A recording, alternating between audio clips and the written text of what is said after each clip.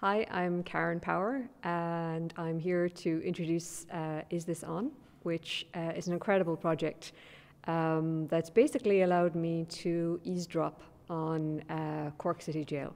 The piece will be a uh, piece composed for and through radio, but also um, performed for you live in the jail. It combines, um, I suppose, sounds that we don't hear, um, but which are in the jail uh, with um, a huge amount of RTÉ Lyric FM's uh, archival material. And then this combined with um, field recordings that I've made all over the world from Irish uh, country scenes to um, high Arctic uh, ice sounds. Um, and all of these are combined into one one piece. So the whole evening is going to be quite uh, quite a show.